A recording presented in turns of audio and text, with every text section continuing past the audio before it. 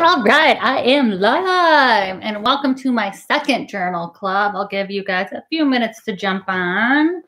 I found an article in the Nephrology Nursing Journal. It is something that the American Nephrology Nursing Association sends you every quarter, and it has different journal articles in there that you can read.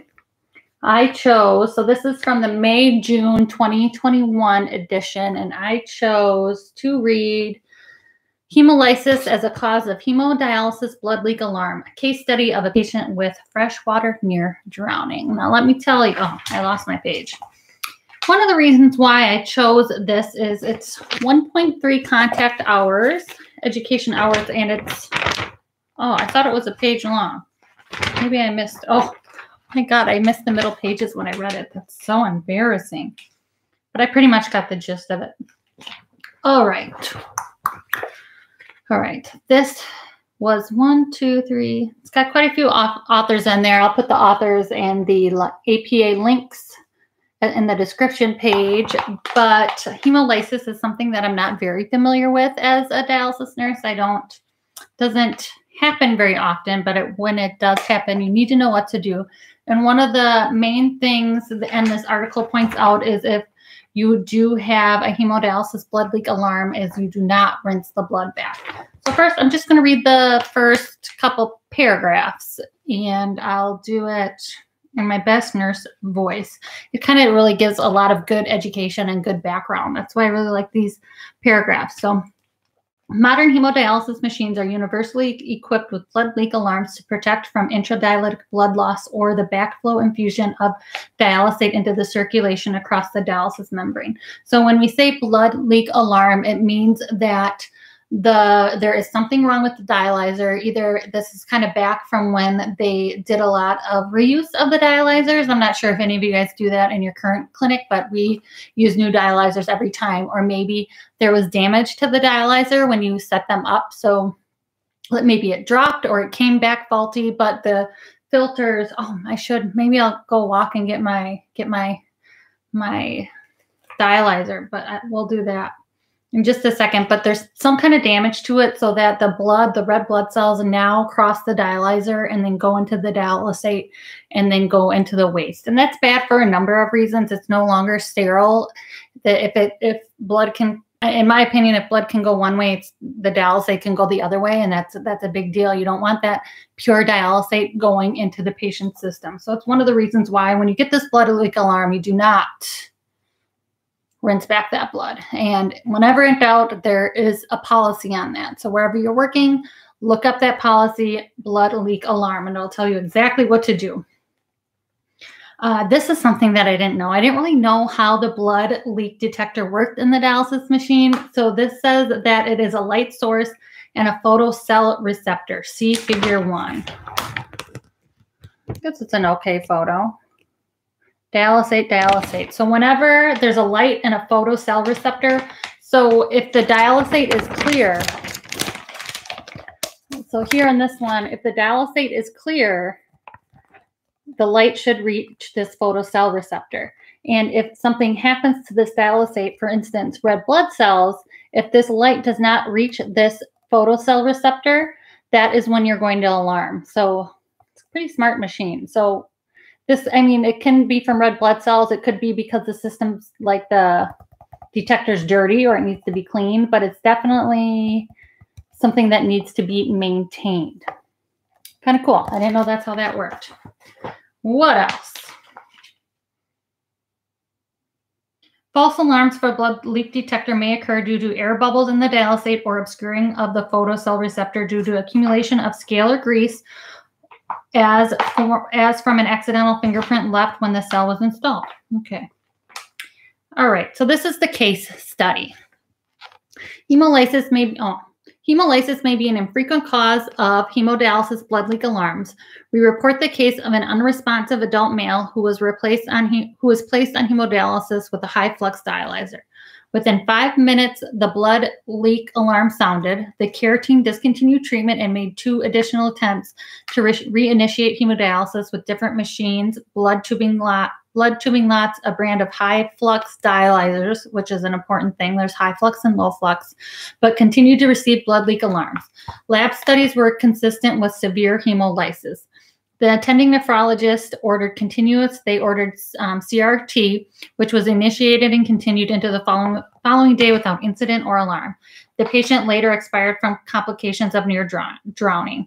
In the event of in the event of significant hemolysis, CRRT or hemodialysis with low flux dialyzer and a low UF rate may be indicated to help with this hemolysis that's going on.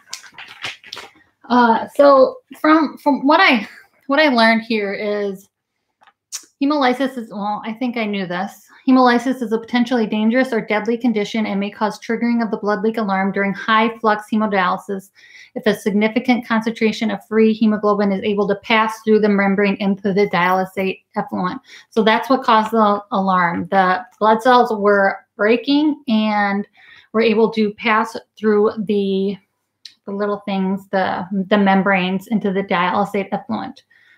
Uh, with freshwater near drowning, hemolysis was not originally considered a possible cause of the repeated blood leak alarm.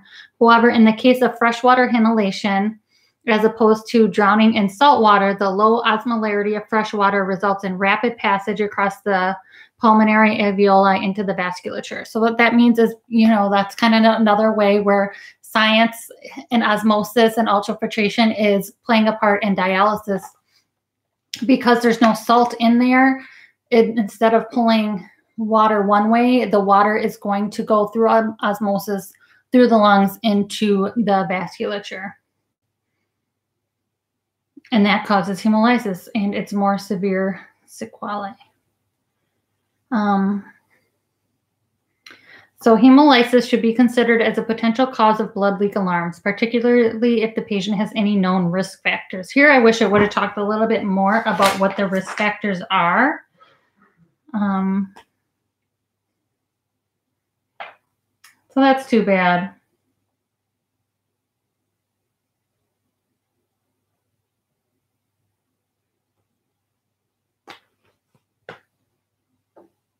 Hemolysis is an unusual and infrequent cause of hemodialysis blood leak alarms. One report reviewed the case of an asymptomatic patient with moderate.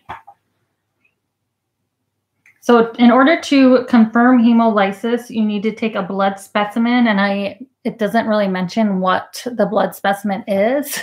So whenever I'm doubt, and I maybe if I just type it into the computer hemolysis, it'll know. But you know, we've all have drawn CMPs or renal function panels where the sample was discarded because of hemolysis. So whenever there's hemolysis, there's going to be elevated potassium levels too. So it's another cause of maybe a false hyperkalemia. Sorry, my lips are super dry. So I, I would just call the lab and be like, I need a test for hemolysis. How do I order that? Minor hemolysis likely occurs in many dialysis treatments, and it is not possible to eliminate all erythrocyte injury during dialysis. Hmm. Despite, so I guess there's a higher risk for hemolysis with high flux membranes. because it's they're bigger.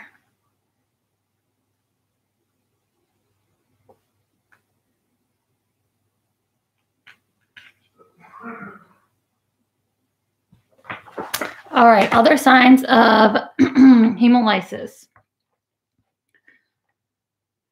They may not manifest. They may not ma- manifest at all, or so that people that have hemolysis may not show all these symptoms. But itching, increased blood pressure and heart rate, flushing, shortness of breath, nausea, abdominal or back pain, and diaphoresis. This sounds a lot like a blood transfusion reaction too.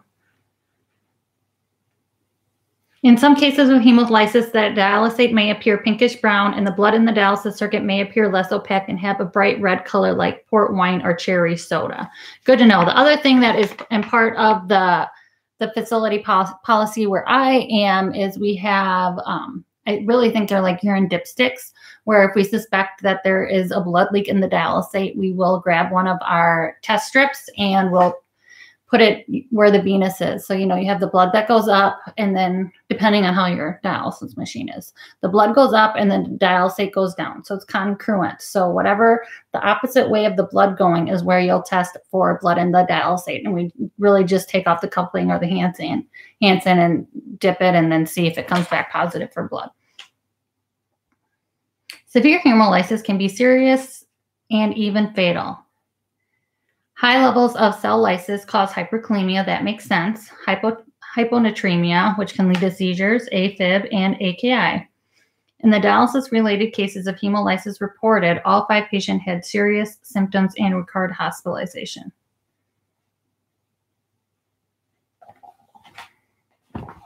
That's what I learned about this.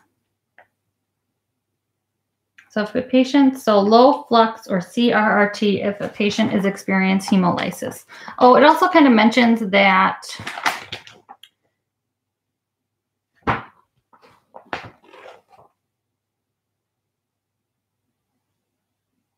Bloodlines should be inspected for kinks before removing them from the machine and the dialysis circuit and samples of dialysate should be retained for further inspection.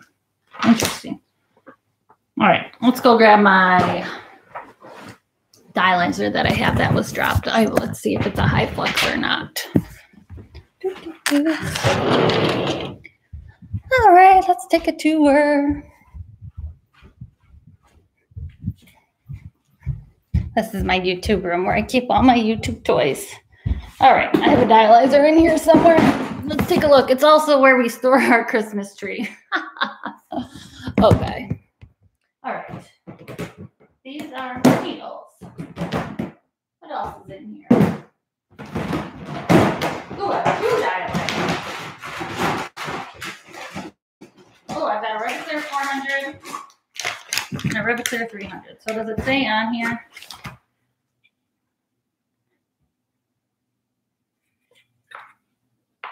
Maybe it says on the label.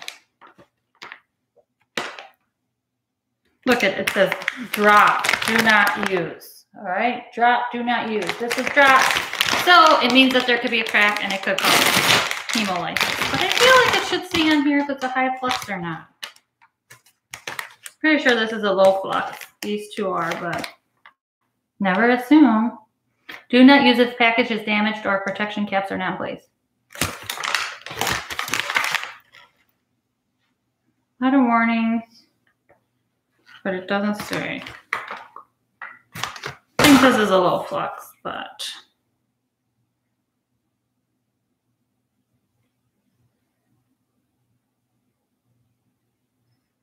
I guess I just have to look it up. Here it is. This is our dialyzer, Revaclear 300, Revaclear 400. It's still in my scrubs because I don't feel like changing. Oh man, I'm disappointed it doesn't say on here. And I didn't bring my journal article with me. Let's see what other toys I have in here. Legos.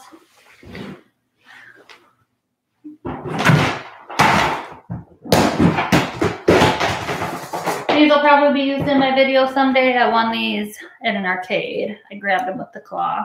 Lois and Peter? Can't remember their names. So maybe might be copyright infringement. Maybe I won't use that. All right, let's bring out some needles. I'm grateful for these expired needles. These are 17 gauge needles.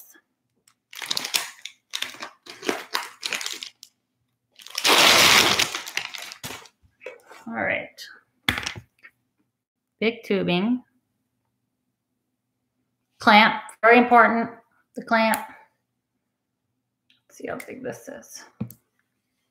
Gosh, I've gotten so used to these dialysis needles. I don't even know if these look big anymore, but these are the smaller 17 gauge needles that go 200 to 250 BFR. Oh, let's see what this. These were a gift because they're expired, but oh, that's a pretty cool cap cover. All right, so we've got red and blue. Oh, I wish I could show you guys the difference. I, the biggest thing I think with the, I'll open another one.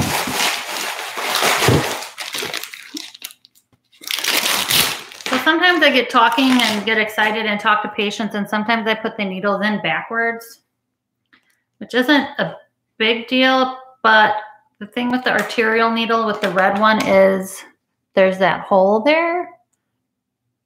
So we got the bevel up and there's that hole there to kind of help suck the blood a little better. And I'm sure that helps prevent hemolysis where this is the, the venous needle. And there's no hole there, so you can't really see through. Let's see. There you can see the hole, and there's no hole here. Oh, that's easier to see. The biggest difference. It just kind of helps with the arterial pressures, I believe. Cool. All right. Well, 15 minutes in. So hemolysis. Oh, wow. Got, oh, I've got a 14 gauger in here. This one's a light. I keep clamping these.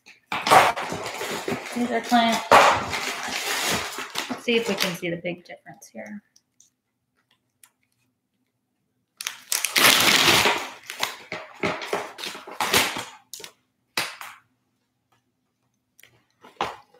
Oh, this is a little to see.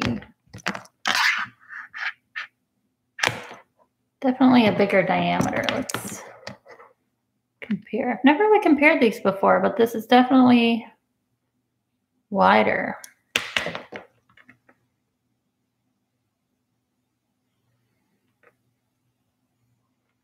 Looks thicker, but